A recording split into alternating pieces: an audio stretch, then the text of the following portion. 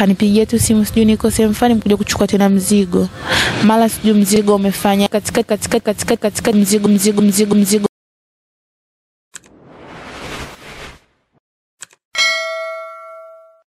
Yes, mtazamaji wa FET Media, ni siku nyingine tena tunakutana hapa hapa ndani ya FET Media.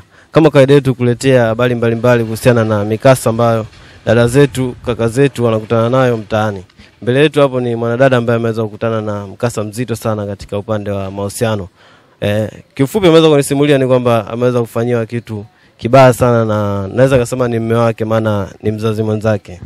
Ngoja tupate mawili matatu kutoka kwake kama alivyonisimulia mimi, nami nikaona sio mbaya nikusogezee mtazamaji wangu hapo Fet Media.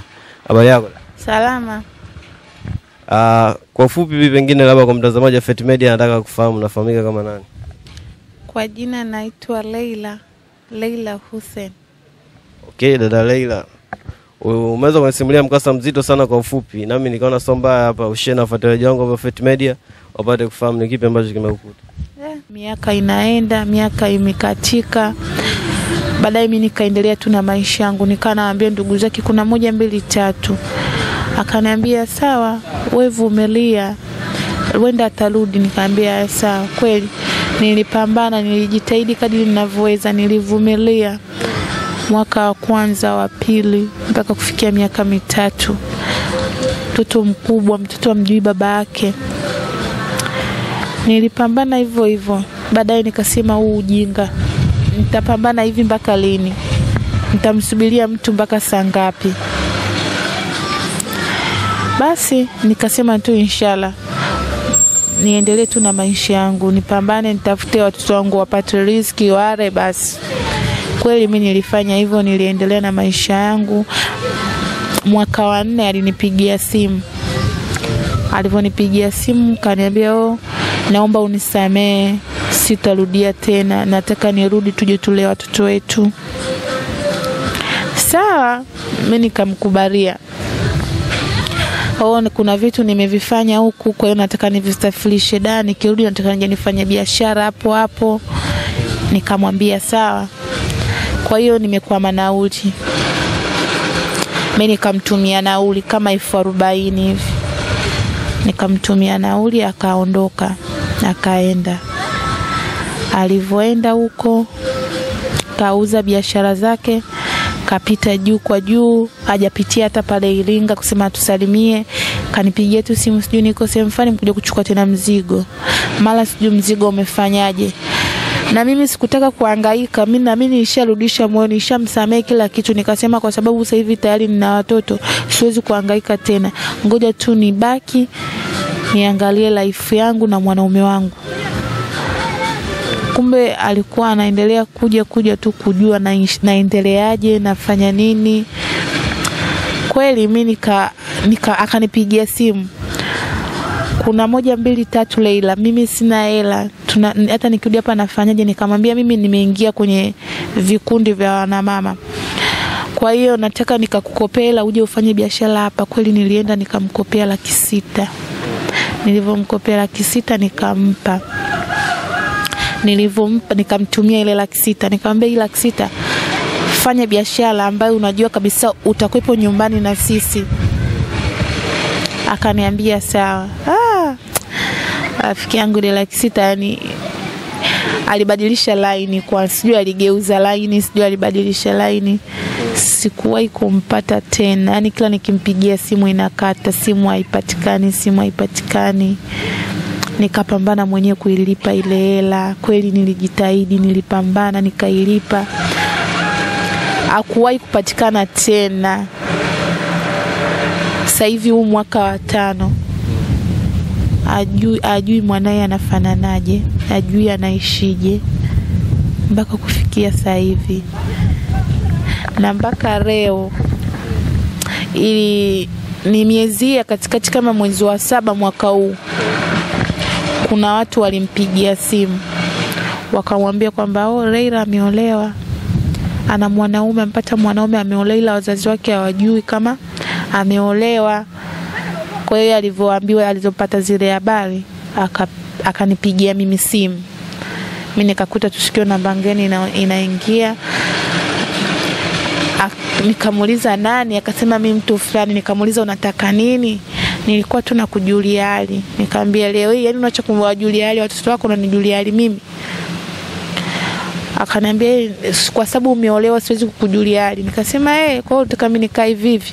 Mimi singeweza kukaa hivi peke yangu miaka yote, na kisheria mimi kuanzia leo wewe sio mume wangu tena, kwa sababu umekaa muda mrefu, miaka mitano nimevumilia miaka yote, nimeshindwa kweli, nimeolewa lakini hapo nilikuwa bado sijaolewa, kwa sababu tu niliongea vile kwa kupaniki. Nilikuwa nimepaniki, nilikuwa nina hasira, kwa hiyo nikaa nimemjibu tu ambavyo nataka mimi.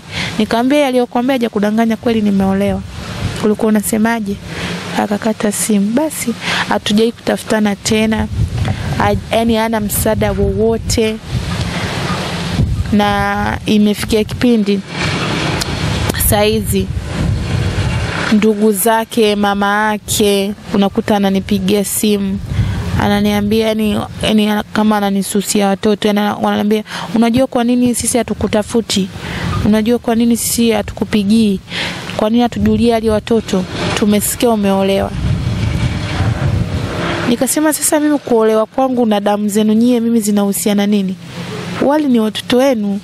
Mimi acha niolewe mlitaka nikae hivi hivi mi sijafikia umri wa kusema nikae tu niendelee kuvumilia. Mi bado mdogo.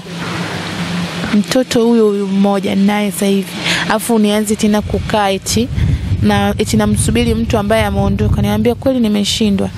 Ndio maana nimeolewa. Basi kama umeolewa watoto utalea mwenyewe.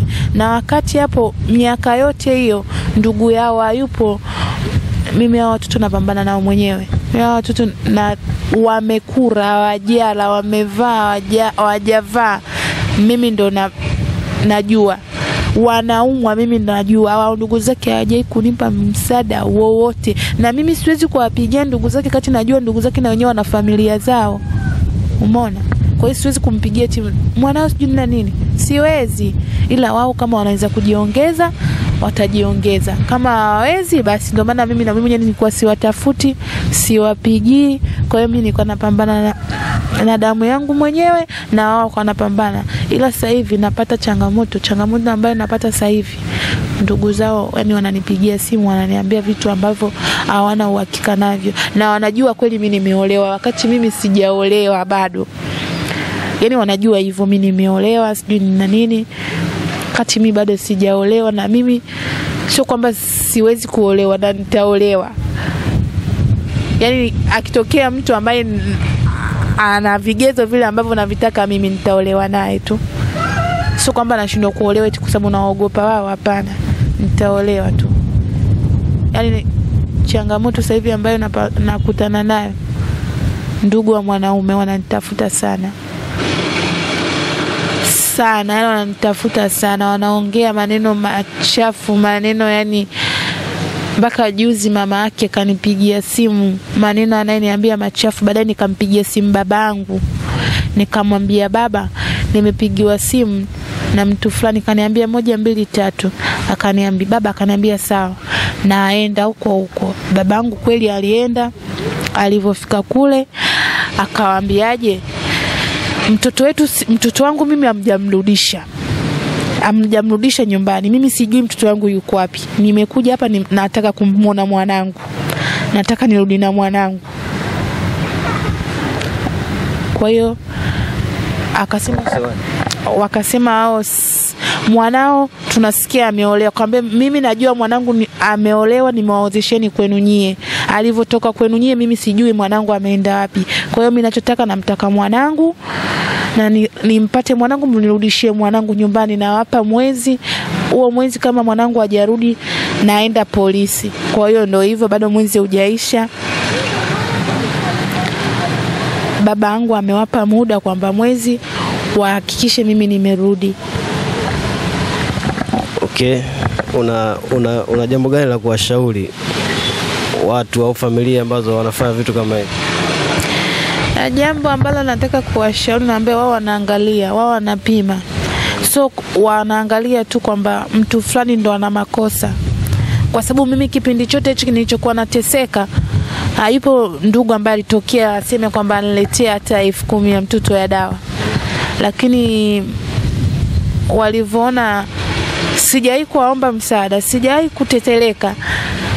Kwa hiyo Hamisi huyu anaweza hichi kitu anachokifanya anaweza. Kwa hiyo ameamua kama wanataka wanikomoe mimi vile. Kwa hiyo naomba tu wao wanaangalia na upande wa pili, sio kila jambo walichukulie tu kwamba mtu fulani ana makosa, waangalie na ndugu yao ana makosa kiasi gani.